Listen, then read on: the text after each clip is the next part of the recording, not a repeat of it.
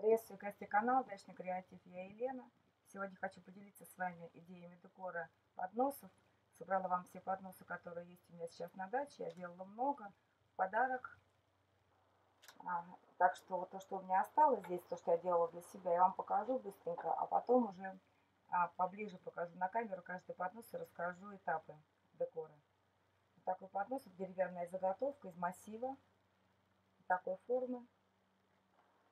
А здесь, если же ручки предусмотрены, здесь для всех подносов и для всех работ декупажа единая этапы работ. Первый – это зашкуривание, подготовка поверхности и обеспыливание, и потом грунтовка. Ну, здесь то же самое я сначала зашкурила, потом обеспылила, загрунтовала, затем наклеила фрагмент рисовой бумаги, вырывала рисовую бумагу. Здесь из одного одна рисовая бумага, и вот эту бабочку добавляла уже и э, из другой рисовой бумаги. Такой подносик получился. Потом я покрасила вокруг мотива а, зеленой краской, такой цвета хаки, припыленной зеленой. И сверху еще а спонжем, а, можно губкой, можно спонжем, нанесла, немножко высветлила цвет. И здесь вот по ребрышкам не знаю, будет видно сейчас на камеру, сейчас поближе покажу. Потом еще покажу конкретно каждый поднос на камеру поближе. Здесь на трафарет наносила структурную пасту. Получился вот такой орнамент на стенках подноса. Стенки этого подноса прямые, не скошенные. Понравилась мне такая форма, он большой, очень удобный. Так, следующий поднос.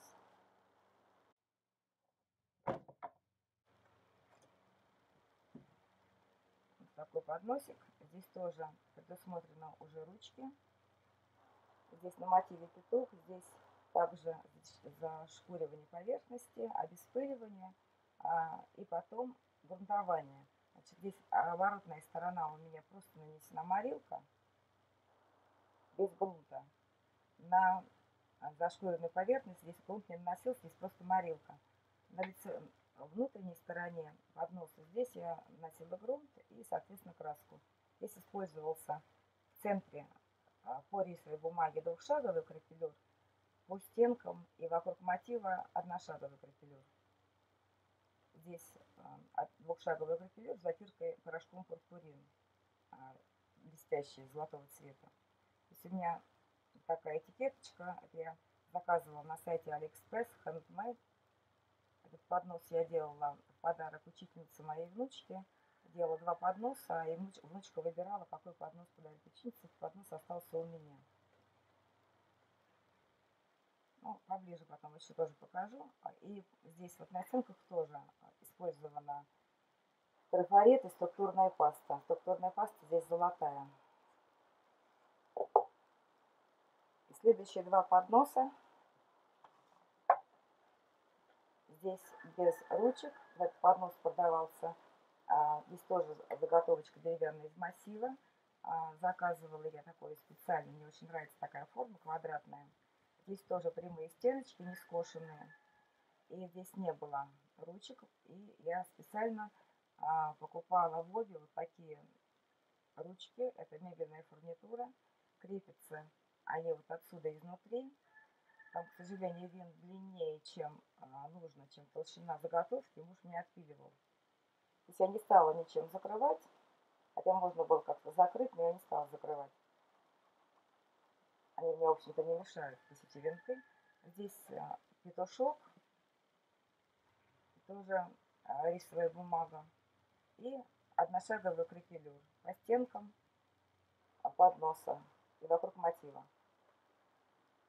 Также грунт, также первый слой краски зеленый, потом одношаговый кракелюр, а потом уже а, краска коричневого цвета. На обратной стороне здесь просто вот сделала вот так, шейвышек немножко потерла. Сначала натерла свечкой, а потом шкуркой убрала верхний слой краски. Здесь крапелюра нет. Такой подносик получился. Такой еще подносик. Здесь тоже ручки, купленные в обе в фурнитуры. Это вообще продавалась заготовка не для подноса, это либо для панно, либо для ключницы. Заготовка это фанера. Такие вот мебельные ручки. Тоже крепятся они с обратной стороны. И здесь вот были видны, прошу прощения, были видны шурупы, я их закрывала вот такой, это для мебели на ножке крепится на студию. Мягкие подушечки такие. Здесь тоже рисовая бумага, и вокруг а, по краске нанесена структурная паста, и мастихином, структурной пастой я здесь продавала рельеф.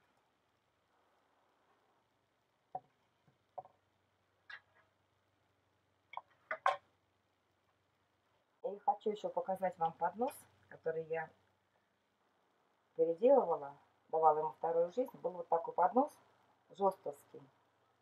Но, к сожалению, он у нас заржавел, на нем стоял самовар, подтекала вода, и он заржавел. И очень жалко было мне его как-то выбрасывать, э, реставрировать. А было сложно, я так думаю, и не хотелось. Хотелось попробовать сделать что-то вот подобное. Но на будущее, если что-то у меня с этим подносом также случится, здесь можно что сделать? у этого подноса выпуклый вот этот рисуночек, он выпуклый. Значит, наносится все вручную. И можно просто было здесь загрунтовать поверхность и сухой кистью подчеркнуть вот этот э, выпуклый рельеф у цветочков. Тоже, может быть, получилось бы интересно. Но это на следующий раз, если что-то с этим подносом случится, я так попробую. А это я сделала вот таким образом. Здесь я просто ошкурила поверхность хорошо очистила от пыли, загрунтовала и вот наклеила мотив из рисовой бумаги и покрасила. Здесь тоже постаралась сделать, чтобы цвет был посложнее, посветлее, здесь потемнее.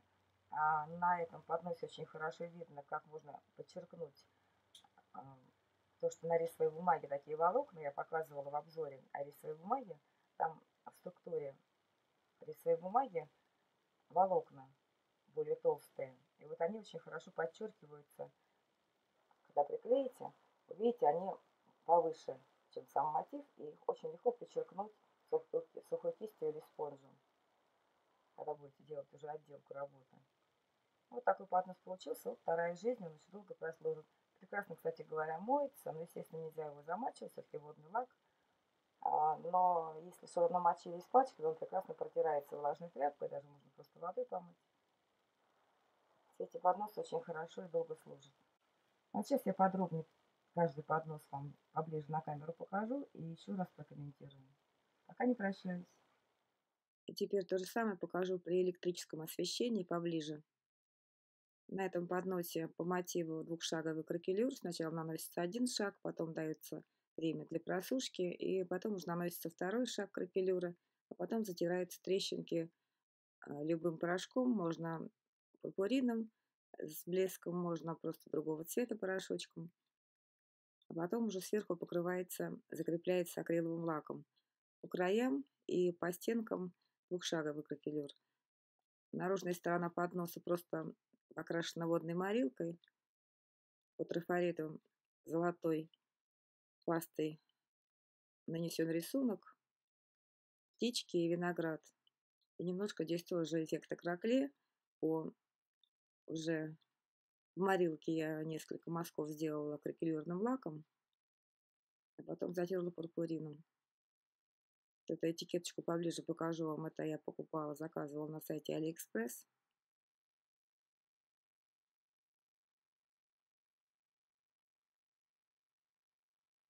Симпатично смотрится э, кракелюрины. Если поближе сейчас я вам попробую показать. На обратной стороне просто морилка и водный лак. Поближе очень хорошо видны трещинки. И следующий поднос. Здесь тоже мотив петух, рисовая бумага, этапы те же. Ошкуривание, обеспыливание, грунтование, наклеивание мотива из рисовой бумаги. Я предпочитаю работать с рисовой бумагой. Рисовая бумага тонкая, мотивов очень много, и заморачиваться с салфетками не всегда хочется. Ну и потом после наклеивания мотива наносится первый слой краски, здесь зеленая краска, потом одношаговый кракелюр, и затем уже второй слой краски, здесь коричневый второй слой. Ну и потом уже немножко добавила золотого воска, ручки. Здесь также купленная в обе это мебельная фурнитура. Крепятся они изнутри. Здесь вот видны винты. Муж отпиливал, потому что они длиннее были. И по толщине получалось, что они торчат. Стенки поднос намного тоньше, чем фасады мебели, поэтому пришлось отпиливать. А на обратной стороне так называемый шейбишик, это по первому слою краски, утирается свечкой, и со второго слоя уже наждачная бумага стирается а, по свечке слой краски. Такой подносик получился, достаточно маленький, симпатичный, маленький, очень удобный, функциональный. Всеми своими работами я пользуюсь, и подносами, и бутылками, и шкатулками. Вот такой еще подносик а, мне захотелось сделать верхнее крепление ручек. Это тоже ручки, купленные в обе мебельные фурнитуры. Это заготовка не подноса, это либо для ключницы, либо а, там, для часов, для чего угодно можно использовать. Но вот мне захотелось сделать поднос. Здесь рисовая бумага по краю, структурная паста. Мастихином нанесла рельеф, потом покрасила все а, серой краской и металлизированной краской немножко придала по ребрам блеск. Такие ручки бронзовые мне понравились. И очень удобно, кстати говоря, он в использовании. Поднос. Это фанера, заготовка фанерная. Вот отсюда крепились ручки. Мне пришлось здесь наклеивать а, такие вот подушечки, которые крепятся на стуле, на стол. И это на самом деле даже удобно, а он удобно стоит, поэтому на столе и удобно очень в использовании. По поводу грунтования хотела еще пару слов сказать. Я всегда грунтую светлым грунтом белым, потому что тонкая рисовая бумага, тонкие салфетки просвечивают. То есть э, грунтовочный слой просвечивает сквозь салфетку, когда вы ее наклеиваете, поэтому лучше э, белый грунт. И еще вот такой поднос. Этот поднос я делала вот у меня был такой поднос наподобие, только другой рисунок, на нем стоял самовар, и он заржавел, я уже это говорила. И вот я из него сделала декупажную вещицу. Этот поднос тоже очень симпатичный, но вот этот поднос мне э, тоже захотелось сделать именно в таком стиле. Здесь рисовая бумага, опять же, те же самые этапы. Я очистила от ржавчины хорошо, зашкурила. Потом загрунтовала, наклеила мотив из рисовой бумаги. Э, мотивы из рисовой бумаги я вырываю. Здесь хорошо видны а, на волокнах, которые присутствуют в рисовой бумаге. Очень хорошо они выделяются. Сухой губкой я э, выделяла эти прожилки на рисовой бумаге. Мне вообще нравятся эти прожилки. Некоторые считают их недостатком, а мне очень нравятся они. На обратной стороне просто вот такой у меня сложный цвет. И к тому же я здесь еще промакивала губку э, с металлизированной краской и с воском для того, чтобы немного наносить именно на, лицевой, на лицевую часть, именно сухая, чтобы была э, губка. Вот такие подносики у меня получились. Вот поближе еще покажу поднос, как хорошо выделяются прожилочки. И вот еще такой поднос у меня большой. Здесь совсем простой декор, грунт, э, рисовая бумага, покраска зеленым цветом сначала, пыльным зеленым, а потом высветление. Единственное, что здесь еще применено, это э, трафарет. Это рисовая бумага обычная, тоненькая, приклеена. Бабочка из другого э, листа рисовой бумаги я вырезала. Такие тонкие, которые маленькие мотивы, где хорошо прорисованный рисунок я вырезаю, в основном я вырываю. Вот здесь трафарет. Рисунок нанесен при помощи трафарета мастихином, структурной пастой. И потом уже я покрасила сначала зеленой краской, а потом уже более светлой. Этот поднос из массива. У меня есть видео а, в серии декупаж для начинающих и краски, и заготовки для декупажа, и все средства, которыми я пользуюсь. Так что здесь я их не показываю. Это получилось очень длинное видео. Просто здесь а, это видео про идеи декора. А в следующих обзорах будут идеи декора бутылок, декор по стеклу. А, покажу вам свои бутылки, то, что я делала, и покажу свои ошибки, если у меня есть некоторые моменты, которые я хотела бы обратить внимание для того, чтобы вы не повторили моих ошибок. На этом прощаюсь. Всем удачи. Пока.